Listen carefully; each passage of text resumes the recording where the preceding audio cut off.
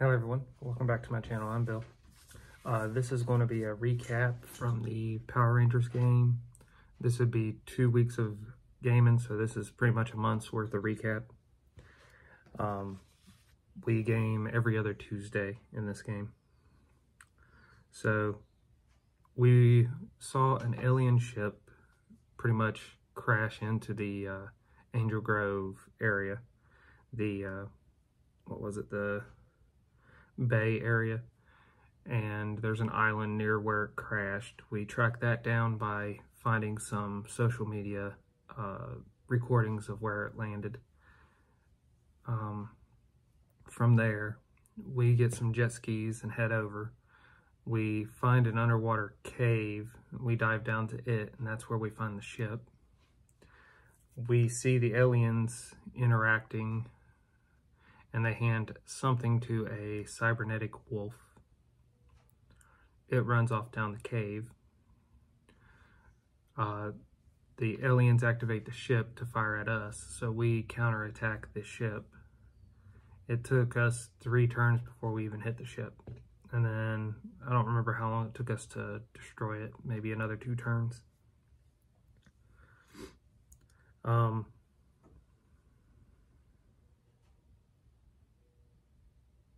we explore the ship um, after defeating the defenses, and then from there we send the information back to Zordon. Uh, we then proceed to chase after the two aliens. I have in here that we fought them um, and that they disappeared. And then we encountered a group of putties and that's the last I remember as the player because that's pretty much when I passed out on, on this online game. Uh, but there was another one of Rita's uh, henchmen with the putties that the party was having a really hard time hitting. And without without having a critical, only the Red Ranger and the Black Ranger of our group, so my character and somebody else's, could hit the thing um, with a lower number than a natural 20. So we continue the adventure the next uh, time we play.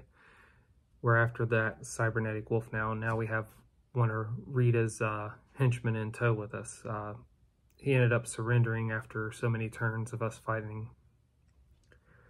So, and his name was Squatt. We uh, we have him tied up. We're going around. We hear a noise, and then one of the players makes a successful uh, alertness checks to follow which area in this maze-like uh, cave system that it's coming from. So we track it down. It's the cybernetic wolf, and he has the a Green Ranger's uh, flute uh, dagger, and he summons the uh, Dragon Zord. So we begin by summoning our uh, Zords, but the game rules stipulate that it's going to take like four turns for them to get there. So to counter that, the Orange Ranger uses his attack to target the uh, flute that's in his hands, and he ends up hitting it. It ends up falling and uh, smashing to pieces in, on the uh, ground below. The Dragon Zord's last command was to pick that cybernetic uh, dog beast thing up and put it on his shoulder. So that's the last thing it does while it's under control.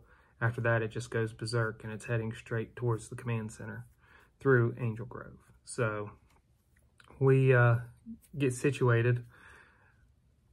We're attacking the cybernetic wolf guy with our ranged attacks using some of the newer rules that the Game Master has discovered by reading more carefully through the book and very disappointed with our inability to hit last game session.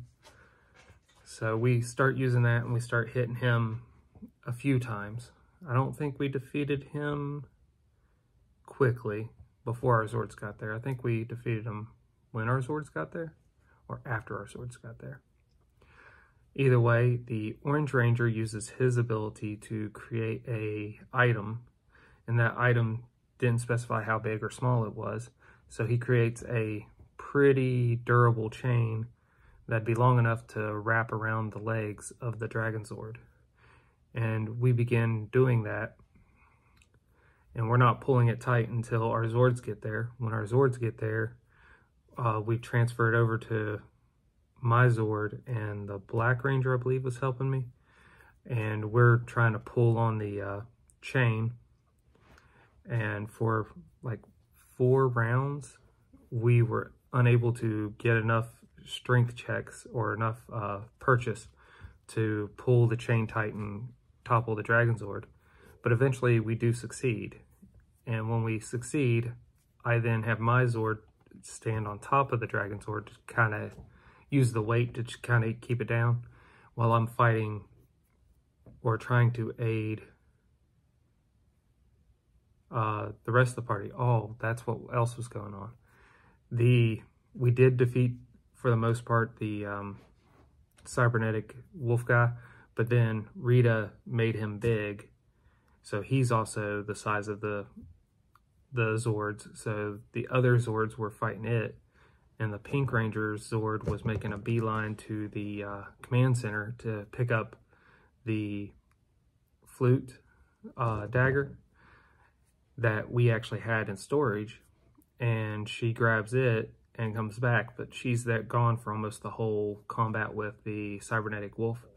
And we managed to defeat it either right before or right after uh, we dropped the uh, Dragon Zord to the ground.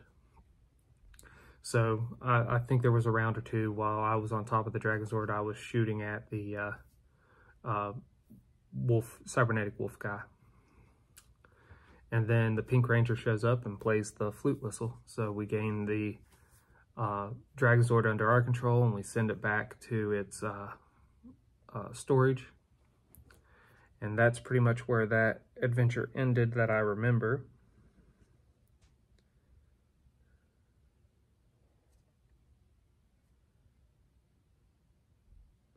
But I have in here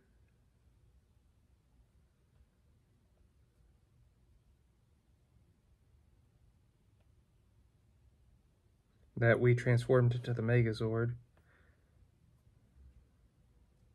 Oh, five alien spacecraft arrive.